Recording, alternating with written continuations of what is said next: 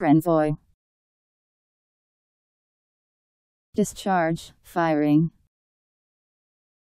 A situation in which a court, tasked with deciding which state's law should apply to a case, decides to apply the law of the forum based on the determination that a court from another involved state would also apply the law of the forum.